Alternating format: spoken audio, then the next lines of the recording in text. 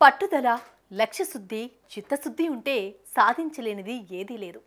ఎన్ని ఎదురు దెబ్బలు తగిలినా ఎన్ని బాధలు మెలిపెట్టినా ఎన్ని రకాల కష్టాలు ఒక్కసారిగా ఎగిసిపడినా చెదరని ధైర్యం ఉంటే ముందడుగు అదే పడుతుంది.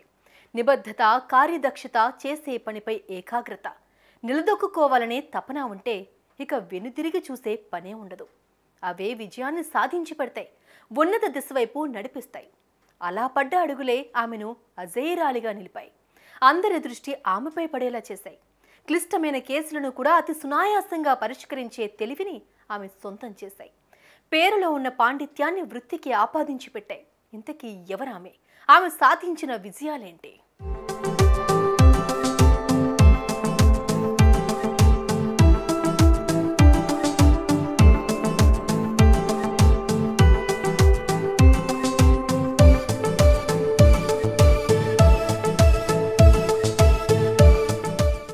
రజని పండిట్.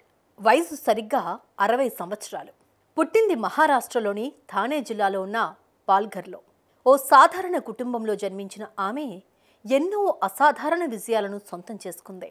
మంచి చదువుకు తోడు చక్కటి ఉద్యోగం కూడా లభించింది. కానీ ఏదో వెలితి. ఇంకేదో చేయాలన్న భావన. ఇదే ఆమెను ఆ ఉద్యోగంలో ఎక్కువ కాలం నిలబడనీయకుండా చేసింది. క్రైమ్ ఇన్వెస్టిగేటింగ్ డిపార్ట్మెంట్లో సబ్ ఇన్స్పెక్టర్గా పనిచేస్తున్న తండ్రి శాంతారాం పండిట్ ఆలోచనలు ఆమెను ఎంతో ప్రభావితం చేశాయి. అంతే చేసే ఉద్యోగాన్ని విడిచిపెట్టి ఆమెను కొత్త మార్గం వైపు నడిపించాయి. ప్రైవేట్ డిటెక్టివ్ను చేశాయి. అయితే చదువుకునే రోజుల్లోనే ఆమెను ఎన్నో అంశాలు ఆందోళనకు గురిచేశాయి సాటి విద్యార్థుల ప్రవర్తన వ్యవహార శైలి రజనీ పండిట్ను ఆలోచనలో పడేశాయి. మద్యానికి ధూమపానానికి విచ్చలవిడి తిరుగుళ్ళకు అలవాటు పడిన వారిని సన్మార్గంలోకి తీసుకురావడానికి ఎంతో ప్రయత్నించారు. ఇందుకోసం ఎన్నో సాహసాలు కూడిగట్టారు ఇవన్నీ డిటెక్టివ్గా కొత్త వృత్తిలోకి వచ్చిన రజనీ పండిట్కు ఎంతో ఉపకరించి పెట్టాయి. వెటకారాలు వెక్కిరింతలు వ్యంగ్య బాణాలు ఆమెను కొద్దిగా కలవరపెట్టినా తట్టుకునే నిలబడగలిగింది. అవేమి పట్టించుకోకుండా సమస్యలతో కలబడి నిలబడేలా చేశాయి. పది మందికి బతుకునివ్వాలి బతికేలా చెయ్యాలి అన్న విధానానికి కట్టుబడి సమస్యల్లో ఉన్న వారికి బాసటగా నిలిచి ఎన్నో విజయాలు సాధించింది రజనీ పండిట్. పట్టుదల కసి ఆమెలో ప్రతిభకు పదును పెట్టాయి. అంతే ప్రైవేటు డిటెక్టివ్గా దాదాపు ఎనభై వేల కేసులను సునాయాసంగా పరిష్కరించేలా చేశాయి. ఇందుకోసం ఆమె ఎంతో శ్రమ తీసుకునేవారు ఎన్నో అవతారాలు ఎత్తేవారు మారువేషాలలో తిరిగేవారు. అవసరమైతే నిందితుల ఇళ్ళల్లోనే ఉద్యోగాలలో చేరి అసలు విషయాన్ని తెలుసుకునేవారు. నిందితులను గుర్తించడం కేసును కొలిక్కి తీసుకొచ్చి బాధితులకు న్యాయం చేయడంలో రజనీ స్టైలే వేరు అన్న ప్రశంసలను సొంతం చేసుకున్నారు. ఎన్నో కేసులను తేల్చి మిస్టరీలను చీల్చి దర్యాప్తులో ముందడుగు పడేలా చేశారు. అందుకే పోలీసులకు ఆమంటే ఎంతో అభిమానం. వారు ఛేదించలేని కేసులను రజనీ పండిట్ ఛేదించిన సందర్భాలు ఎన్నో. ఒక కేసును పరిష్కారం కోసం ఆ కేసుకు సంబంధించిన నిజాలను తెలుసుకోవడం కోసం ముందుగా ఎంతో కసరత్తు చేసేవారు. కళాశాలలో చదువుకునే రోజుల్లో సహ విద్యార్థినికి సాయం చేసేందుకు చేసిన ప్రయత్నంతో డిటెక్టివ్గా మారిన రజనీ పండిట్ అంచెలంచెలమైన ఆత్మవిశ్వాసంతో చెదరని తరగని స్థైర్యంతో అదే మార్గంలో అడుగులు వేశారు. ఆ క్రమంలోనే వీధి వ్యాపారిగా వికలాంగురాలిగా గర్భిణీగా బిచ్చగత్తిగా ఇలా ఎన్నో వేషాలు కట్టింది. ఎదుటివారికి ఎలాంటి అనుమానాలు రాకుండా వ్యవహరించి కేసులను పరిష్కరించింది.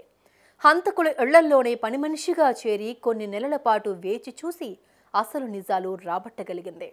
నిందితులకు శిక్షలు పడే వరకు వదిలేది కాదు. తనను ఆశ్రయించిన బాధితులకు అన్ని రకాలుగా న్యాయం జరిగే వరకు పరిశ్రమించే ఆమె తత్వం ఎందరినో కదిలించింది.